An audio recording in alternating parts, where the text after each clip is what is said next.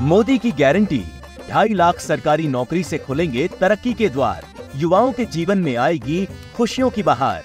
राजस्थान के युवाओं को रोज़गार दिलाने के लिए कमल का बटन दबाएँ, भाजपा को जिताएँ। मोदी साथ